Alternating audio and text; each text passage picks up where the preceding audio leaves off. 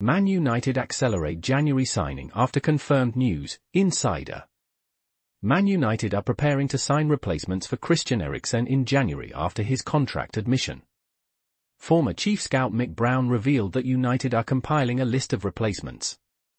Eriksen, who has made eight appearances this season, admitted no talks are ongoing about renewing his deal. United, already short in midfield, will look for a box-to-box midfielder to fill the gap. Casemiro may also be sold in January. Please subscribe to my channel.